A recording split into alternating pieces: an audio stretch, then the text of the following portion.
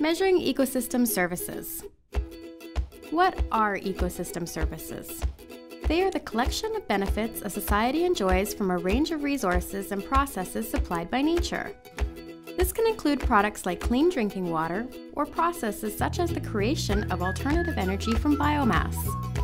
Ecosystem services can be separated into three categories provisioning services, like food, fiber, or alternative fuels, regulating services, like water, air, or pollution regulation, and cultural services, like recreation, aesthetic values, or just leaving stuff behind for future generations.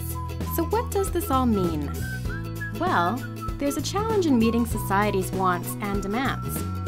Basically, a lot of people need a lot of stuff, and what the land can provide is limited. So, if all of these people want all of these things, how do we know if we have enough? Where does it all come from? And how much of it is out there? Fortunately, there are talented people thinking about these challenges. The land can provide a whole bunch of products and services. With the right information, we can make decisions, like should an area be used for food or biofuel, or should it be developed for housing or reserved for parkland? For example, let's talk about biomass for energy and other bioproducts. Biomass is the mass of living biological organisms in an ecosystem. This can include trees, crops, vegetation, or any other renewable carbon based organism. Biomass can give us bioenergy, biomedicines, bioproducts, and more. Biomass can be used as a credible alternative to fossil fuel based products.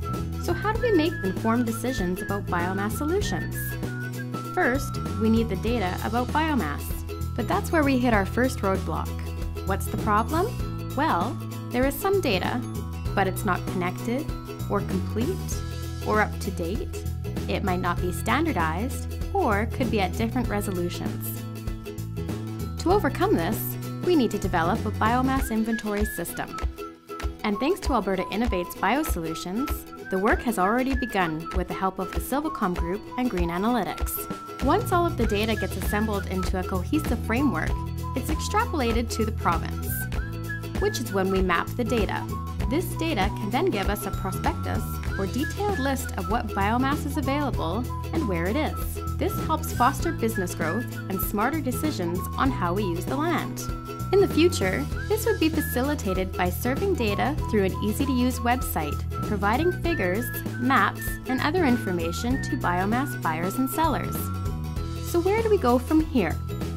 Under the Alberta Innovates Biosolutions project, the Silvacom Group and Green Analytics have proven the idea with available data and identified gaps that need to be addressed.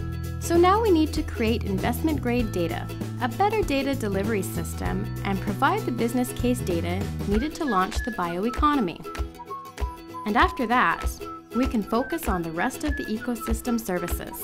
Getting the data right leads to making the right decisions. And when we do that, society will benefit from the wide range of resources and processes that encompass ecosystem services.